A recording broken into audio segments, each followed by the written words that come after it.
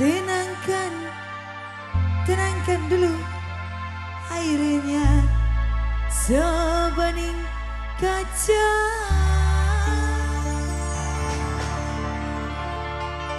Bila mata tertuju pada